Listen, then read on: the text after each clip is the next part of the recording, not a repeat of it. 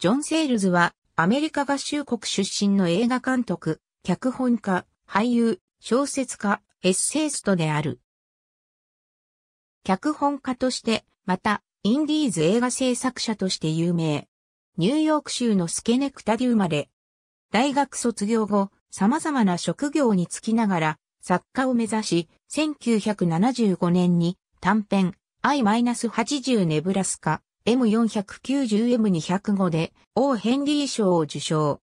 一方、後に自身で映画化するブラックソックス事件を扱ったエイトメンアウトの脚本を執筆し、その売り込みをしていたことがきっかけで、ロジャー・コーマンの下で脚本を書き始め、ピラニア、ハウリング、アリゲーターなどの B 級ホラーの脚本を手掛けた。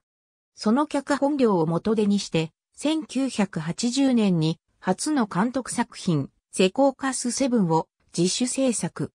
1984年のブラザーフロムアナザープラネットが評価され、同年にストレンジャーザンパラダイスを発表したジム・ジャーム氏ともにニューヨークインディーズパの監督としてと並び称される。以降も監督作品を多数発表。また俳優としても日本映画、ウンタマギルー等に出演している。